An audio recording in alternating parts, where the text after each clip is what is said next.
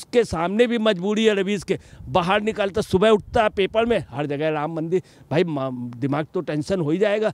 राम की वजह से उसे पैसा थोड़ी मिलेगा।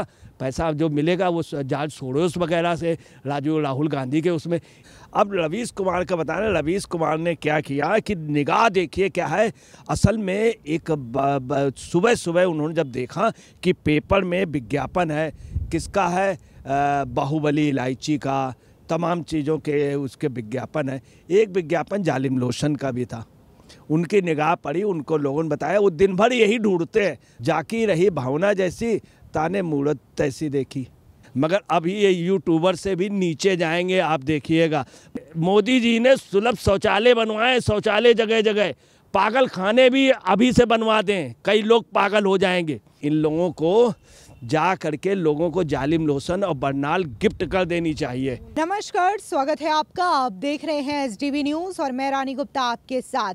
इस वक्त राम मंदिर को लेकर के तमाम लोग जो हैं, वो बौखलाए हुए हैं, क्योंकि वही लोग हैं जो कि बार बार सवाल पूछा करते थे कि आखिर अयोध्या में श्री राम लला का भव्य मंदिर कब तैयार होगा? लेकिन अब जब मंदिर तैयार हो चुका है, तब भी उन लोगों में लगातार खलबली मची हुई है। अब तो लोग जो है, वो अखबार में ऐड आ रहा है, राम मंदिर के प्राण प्रतिष्ठा को लेकर के शुभकामनाएँ दी जा रही है। उस ऐड पर भी बौखलाहट ज़ाहिर कर रहे हैं। बता दें कि जाने माने यूट्यूबर पत्रकार है रवीश कुमार। उन्होंने सीधे तौर पर अखबारों में जो ऐड दिया गया है, उसको लेकर के सवाल उठा दिया है कि ये कैसे कैसे विज्ञापन आ रहे हैं, जो कि राम मंदिर प्राण प्रतिष्ठा को लेकर के शुभकामनाएँ दे रहे हैं। इसमें पान मसाला का ऐड है, बिस्किट का ऐड है, जालिम लोशन का ऐड है। अब ये तमाम जो चीज़ें चीज़ें बोली जा रही है रवीश कुमार के द्वारा। अब हम इस पर विस्तार से चर्चा करेंगे। हमारे साथ मौजूद हैं वरिष्ठ पत्रकार अजय जी। आ, सर आपने देखा होगा कि कैसे रवीश कुमार जो हैं वो राम मंदिर पर पहले तो सवाल उठाया करते थे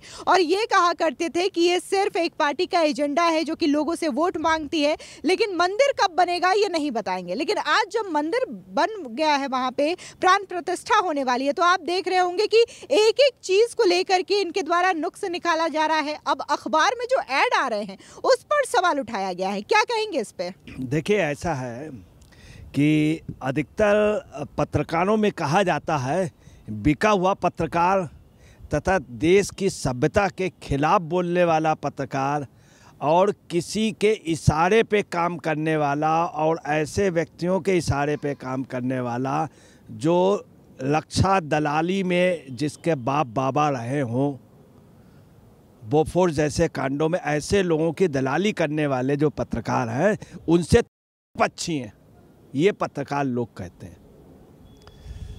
तो आजकल ये बहुत चर्चा चल रही कि पत्रकारों में एक नई कम्युनिटी हो गई है, जो समझ लीजिए कि बहुत पिद्दी मीडिया तो अब ये आपने जो क्वेश्चन किया है यूट्यूबर उसका रवीश कुमार का तो रवीश कुमार जो यूट्यूबर है तो आपको बता दें कि इनका इनका भी क्या है एक्चुअली में क्या है कि कहना नहीं चाहिए, एक जालिम दूसरे जालिम को देख करके हमदर्दी झलकती है, एक जालिम की दूसरे जालिम की।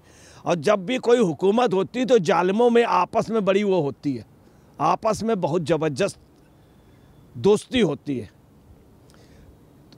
अब क्या है कि जालिम लोशन पे निगाह किसी की नहीं पड़ी।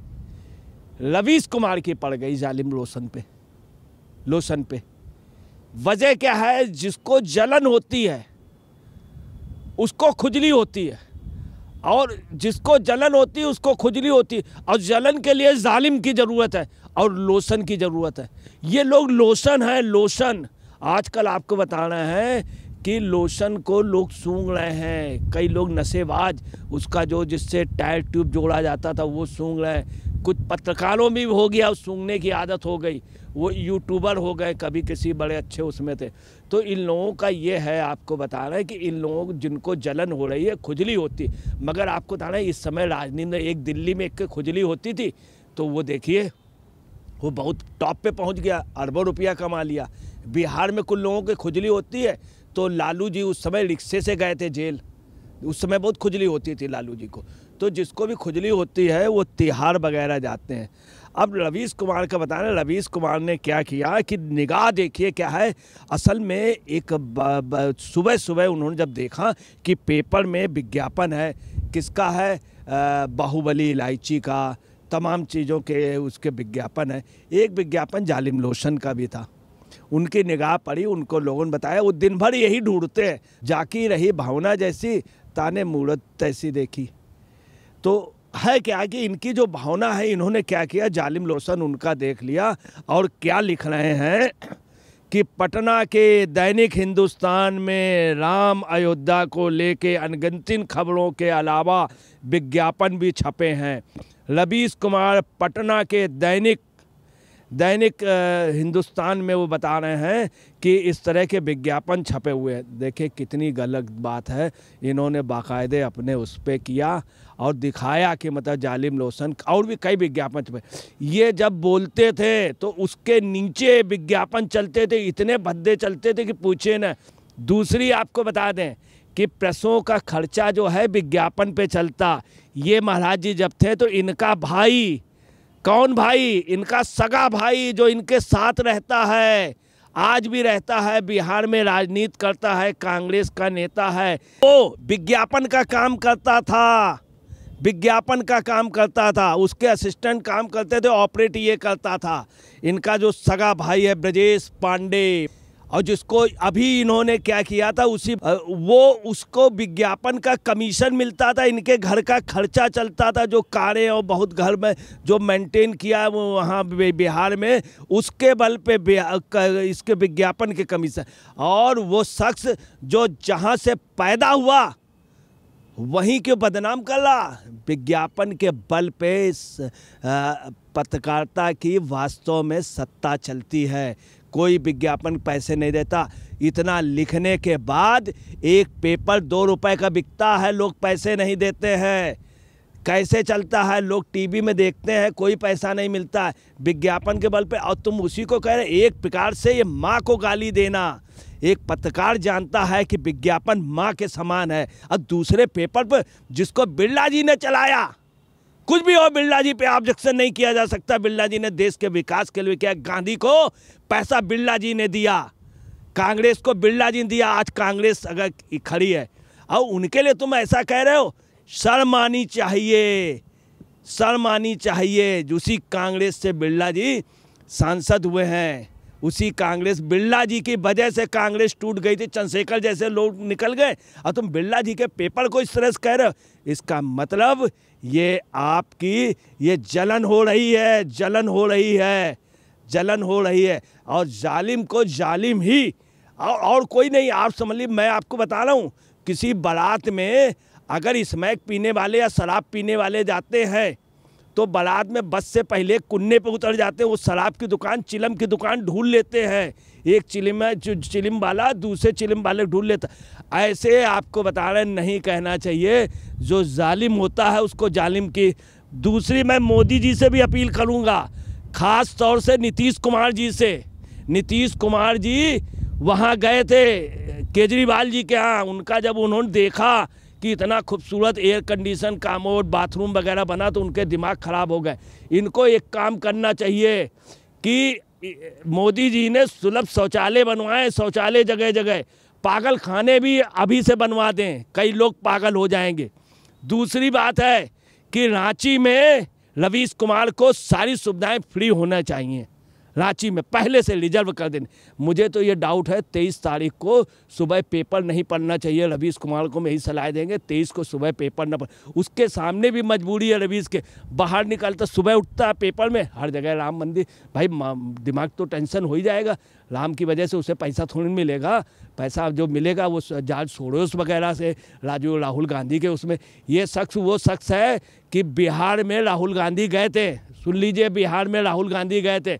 राहुल के बगल में गए बड़े उससे, जब राहुल यात्रा कर रहे थे, चिपक गए। राहुल से कहा कि मेरे भाई को मंत्री बनवा दो या कोई निगम में दिलवा दो। नीतीश कुमार नीतीश कुमार को बताया राहुल गांधी ने। नीतीश कुमार और हो गए। बाद में इन्होंने जब देखा कि नहीं बनवा रहे हैं राहुल गांधी तो इन्होंने नीतीश कुमार से कह दिया, नीतीश कुमार ने लालू को ऐसे इशारा किया कॉन्स्परेसी हो गई। मतलब जो दाढ़ी वाले हैं, और लालू जी को भी इतनी तो वो बेचारा बोले, वो शादी मैं इसके मम्मी से भी कहती हूँ, शादी बेचारे राहुल की बेजती हो गई। सिर्फ़ इस कारण कि इनके भाई को मंत्री नहीं बनवा पाएँगे, राहुल ने कोशिश की। ये वो शख्स जो बिका हुआ है। आप खबर दीजिए, मोदी के खिलाफ दीजिए वेलकम बहुत अच्छा। सरकार कहीं खराब कर रही मगर कर्नाटक की सरकार भी खराब कर रही वहाँ के खिलाफ दीजिए। सब नहीं आती, मनीष कश्यप के खिलाफ आप न्यूज़ नहीं दे पाए। अभी लालू के पोते ने एक अधिकारी को है, ये खबर तुम नहीं दे पाए। हैं, अपने भाई की खबर नहीं दे रहे हैं, ये खबर नहीं दे रहे हैं। और कर्नाटक की खबर नहीं दे रहे, कर्नाटक में ये हो गया कि जो जो भी नहीं आएगा, उसके ऊपर जुर्माना होगा। उस दिन बाईस तारीख को मतलब एक तरफ़ लोग छुट्टी बना रहे, मैं आपको बता रहा हूँ, नहीं कहना चाहिए। ये रवीश कुमार का सिर्फ़ एक है निगेटिव हो गई है, बुद्धि वो हो गई और इनको जितनी जल्दी हो चुके, दूसरी बात है, अगर ये दिल्ली भी जाएँ तो इनके लिए आगरा, बरेली, उधर रांची, कई जगह इनके लिए व्यवस्था होनी चाहिए और अच्छा मतलब इनका मान सम्मान होना चाहिए। और ये यूट्यूबर है यूट्यूबर मन यू यूट्यूबर आगे चल के ये क्या हो जाएँगे, कौन ट्यूबर हो जाएँगे नहीं कह सकते हैं। मगर अभी ये यूट्यूबर से भी नीचे जाएँगे, आप देखिएगा। पाइपलाइन में है, पाइपलाइन में हैं। ट्यूब नहीं, पाइपलाइन में है। अब इनका आगे आप देखिएगा क्या पोजीशन होती है। कहना नहीं चाहिए कि इन लोगों को जा करके लोगों को जालिम लोशन और बरनाल गिफ्ट कर देनी चाहिए।